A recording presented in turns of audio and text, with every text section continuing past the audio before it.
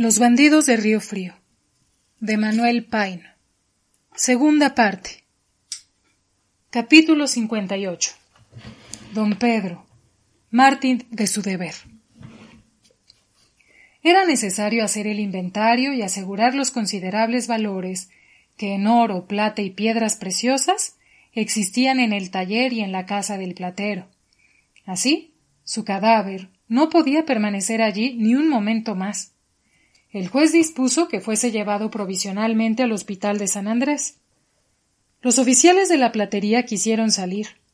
El agente del juzgado lo impidió. Y todo esto hizo que se fuese reuniendo gente. Se formó escándalo.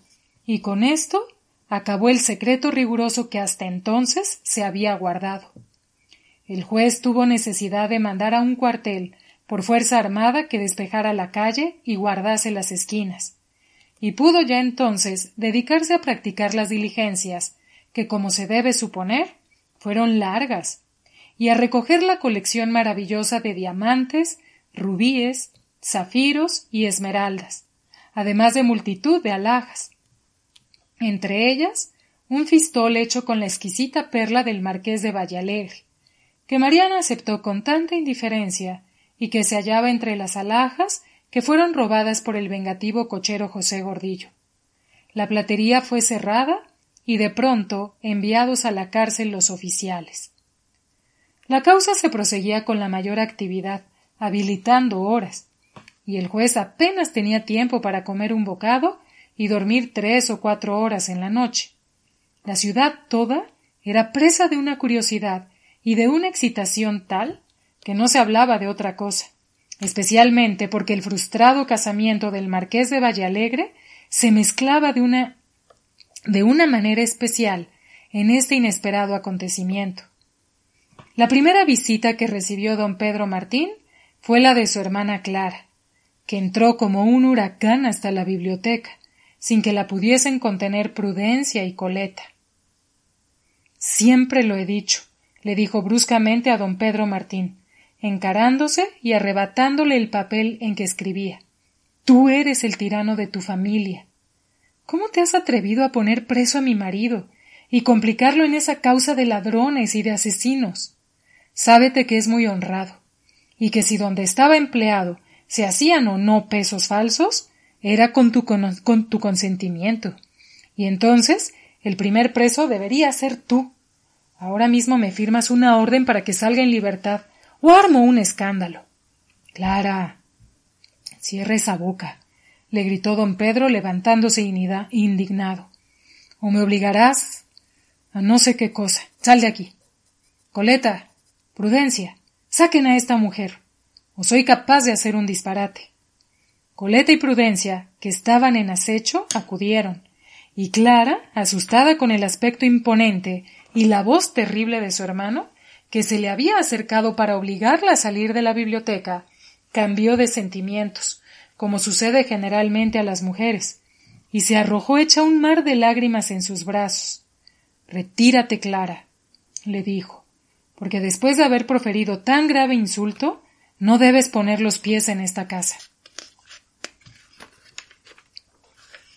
Perdónalo, Perdónalo, en tu mano está salvarlo, continuó diciendo Clara. ¿Qué va a ser de mí? ¿Quién volverá a saludarme en la calle? ¿A qué casa iré donde no me cierren la puerta? Considera mi situación, hermano mío, y salva a mi marido. ¿Tú? ¿Tú? le interrumpió don Pedro quitándose del cuello los brazos de Clara que lo oprimían. Eres la que has conducido a tu marido al crimen y te has labrado la situación en que efectivamente vas a quedar. Ese lujo, esas alhajas, esos carruajes con que no solo llamabas la atención, sino que escandalizabas a la sociedad de México, han obligado a ese hombre a hacer gastos cuantiosos y a ligarse con un gran criminal. Me cansé de darte consejos que nunca quisiste escuchar, y ya ves el resultado. Yo nada puedo, nada soy, nada valgo. No puedo castigar ni perdonar. La ley sola es la que obra en estos casos. Si tu marido, por las diligencias que se practiquen, es inocente, saldrá en libertad y se rehabilitará en la sociedad. Pero si es culpable, ni lágrimas, ni súplicas, ni amenazas servirán de nada. La ley lo castigará. Es mi última palabra, Clara. Don Pedro Martín volvió la espalda, y Prudencia y Coleta, tomando del brazo a Clara y calmándola en cuanto les era posible, la sacaron casi a fuerza de la biblioteca. Por la corredora doña Viviana se empeñó medio México. Tenía tantas relaciones con las familias principales y era tan complaciente, tan viva, facilitaba tanto los negocios y se portaba con tanta honradez y exactitud en sus contratos que nadie creía que pudiese estar complicada en robos y maldades, y atribuían su prisión a las calumnias y a la venganza de algunas personas, que habiéndoles fiado alhajas y trajes, no le querían pagar, y habían tenido necesidad de citarlas ante un juez. Don Pedro fue inflexible, y contestaba lo mismo que dijo a su hermana. La visita que le causó una impresión profunda fue la de doña Severa y Amparo. Vestidas sencillamente de negro, entraron a la biblioteca. Se sentaron temblorosas, sin poder articular palabra y durante un cuarto de hora hubo un lúgubre silencio que asustó a Prudencia y a Coleta, y se escaparon conmovidas a sus recámaras, no queriendo ni por curiosidad saber lo que iba a pasar. ¿Qué había de decir el juez? Quería comenzar la conversación para que, de cualquier manera, terminara tan penosa entrevista, pero no sabía cómo hacerlo sin agravar más el dolor de las desgraciadas víctimas de relumbrón. En pocos días, la juventud lozana de Amparo había acabado como si hubiesen pasado años y años. Sus mejillas blancas estaban hundidas y como transparentes. Sus ojos, antes dulces, tenían una mirada de amargura, y en su fisonomía toda, que no podía contemplarse sin emoción, estaban retratados los agudísimos sufrimientos de su alma. Ella fue la primera que rompió el silencio y con una voz dolorosa apenas pudo decir Si fuera posible. Usted, señor, que que tanto nos ha querido. Y sus ojos se llenaron de lágrimas y su voz se ahogó en, una, en su garganta. El juez aprovechó la oportunidad, comprendiendo lo que Amparo quería decirle, para terminar, aunque fuese dolorosamente, una conferencia que no podía tener ningún resultado favorable. Es verdad, le dijo Amparo. No solo las he querido, sino que las he estimado y admirado por sus virtudes, y me duele el corazón. Pero no soy en este momento más que el juez inflexible que tiene que cumplir con la ley. Doña Severa y Amparo comprendieron que eran inútiles sus ruegos. No hablaron más. Se levantaron. Tomaron ambas las manos del juez para significarle lo que sufrían y se retiraron lentamente, sin esperanza, mudas, tristes, pálidas, como dos sombras que caminan al oscuro recinto de las tumbas y de las eternas lágrimas.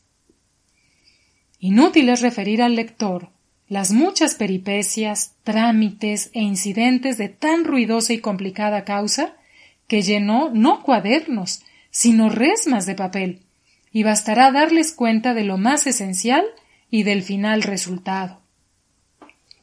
Relumbrón comenzó por negar obstinadamente, diciendo que era víctima de una vil calumnia, pero concluyó por confesar, presentando su defensor como circunstancia atenuante la organización especial que lo arrastraba, sin poderlo evitar, al robo, lo que constituía una verdadera monomanía que lo hacía irresponsable de sus acciones. Cuestión de frenología que apenas había dado a conocer don José Ramón Pacheco, y que no hizo ninguna impresión en el ánimo del juez. Evaristo, al principio, negó también, y fue osado e insolente en las respuestas. Más adelante confesaba unas cosas y se desdecía después. Quería echar la culpa entera a Relumbrón y complicar al licenciado Lamparilla y a Cecilia, pero habiendo sido reconocido en rueda de, de presos por doña Rafaela la Dulcera y las vecinas de la estampa de Regina como asesino de Tules, y confrontándose el mechón de cabellos que le arrancó Pantaleona con la cicatriz que aún tenía en la cabeza, confesó todas sus fechorías, haciendo gala de ellas, y sintiendo solamente no haber matado a Cecilia y a Lamparilla, que consideraba autores de su desgracia. Si Cecilia lo hubiese querido, y se hubiera casado con él, en vez de un ladrón, sería un hacendado rico y honrado. Hilario dijo que él no era más que un soldado que recibía órdenes de su jefe, que de nada era culpable ni responsable, y que él personalmente no había asesinado a nadie. Doña Viviana lloró desde que la aprehendieron hasta el día de la sentencia. Toda se retorcía, enclavijaba las manos, pedía misericordia y perdón sin descansar. No comía ni dormía, y estaba a punto de morirse de miedo a la muerte. Solo el tuerto Cirilo se estuvo firme, primero mártir que confesor. A cuanta pregunta le hicieron en el curso de la causa, respondió invariablemente que él era un hombre de bien, que ganaba su vida como jicarero de una pulquería de la señora Adalid, que eso lo sabía todo el mundo, y que no tenía más que decir, que si lo mataban poco le importaba, y es cuanto, y así terminaban los interrogatorios. Relumbrón, Evaristo el Tornero, Hilario Trueno, el tuerto Cirilo y cuatro de los valentones a quienes se probó que habían cometido varios asesinatos en el camino de Río Frío, fueron condenados a muerte. Doña Viviana a veinte años de trabajos forzados en la cárcel, y los demás reos que resultaron culpables a cinco y diez y veinte años de presidio. Los oficiales de la platería y Luisa, a quien de pronto se puso presa, salieron en libertad. La sentencia fue confirmada y negado el indulto. Mientras estos acontecimientos pasaban en México, otros no menos graves ocurrieron en casa de personas con las que hemos hecho ya conocimiento. Y mientras los reos se disponen a bien morir, daremos una ligerísima idea de ellos en el capítulo siguiente.